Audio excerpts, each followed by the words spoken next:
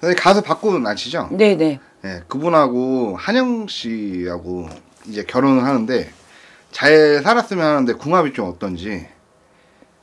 둘이 되게 잘 어울리죠. 내가 박군 얼굴은 알아. 한영 한영 씨 얼굴은 잘 모르고. 네. 근데 한영 씨가 40대고 나이 차이 좀 나, 나실 거야. 네.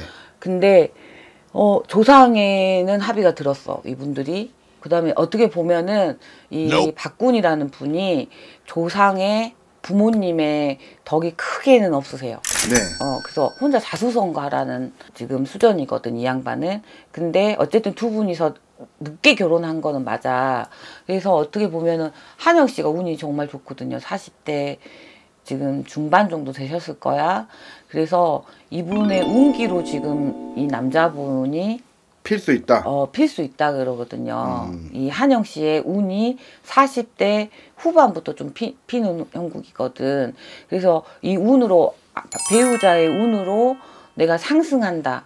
이렇게 지금 보여지고 어쨌든 이 배우자 운은 두분 다는 맞아요. 나이 차이가 조금 나지만 왜냐하면 이 박군이 박군이 생각보다 부모공이 좀 약하기 때문에 한 한영 씨라는 이분이 부모의 역할도 하고요. 음. 배우자의 역할도 하고 안아주는 형국이거든. 그래서 한영 씨가 어떻게 보면 해야 될 일이 좀 많아. 근데 한영 씨도 어떻게 보면 박군하고 결혼을 좀 잘했다 생각하는 거는 딱 하나예요. 왜냐하면 항상 외로 외로운 사람이거든. 한영 씨가. 네네. 네. 외로운 사주거든. 근데 나의 그거를 채워주면서 또 배우자는 또 내가 또 무언가를 줘야 되는 입장이야. 음. 그렇기 때문에 어떻게 보면은 한영 씨가 고생을 해서 어느 정도 읽어놓은 거에 박군이라는 분이 들어온 거지. 음. 그래서 오히려 이렇게 와이프가 받쳐주면서 이렇게 가는 형국이야. 그럼 서로 궁합 잘 맞는다. 네, 잘 맞아요. 나쁘지 않아요. 속궁합은 어때요? 속궁합은? 속궁합 잘 맞지요. 아주 좋습니다. 아 그래요? 어, 진짜요. 뭐 이현수 같은 건 안 보이죠? 어, 한 번 고비는 있는데 박군이라는 분이 잘해야 돼요. 음. 어, 그것만 좀 한 번 고비는 있어요.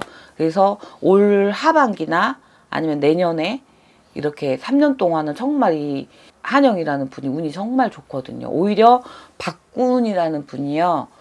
오랑이 띠잖아요. 그래서 내해운년에 오히려 성주 운인 게 하반기에 결혼하시는 게 좀 좋으실 거예요. 그래서 한 3년 있다가 3년 어 3년 있다가 엄청 좋다 그러는데 올해 내년 내후년 음, 이 박군이라는 분이 네. 결혼을 하고 좀 더 많이 핀다. 이렇게. 아무튼 두 분이서 좀 잘 살았으면 좋겠어요. 어, 잘 사실 거예요. 그러다 보니 한영 씨가 고생을 너무 많이 하셨던 분이라 네. 그 다음에 또 밑에 탄탄하게 이렇게 좀 읽어져 있는 게 보이거든요. 보기보다 되게 단단하게 좀 읽어 놓으셨다 그래. 음. 그래서 박군을 이렇게 안 끌어 올려준다 그래. 운에서. 어, 그렇게 보여져요. 행복하세요.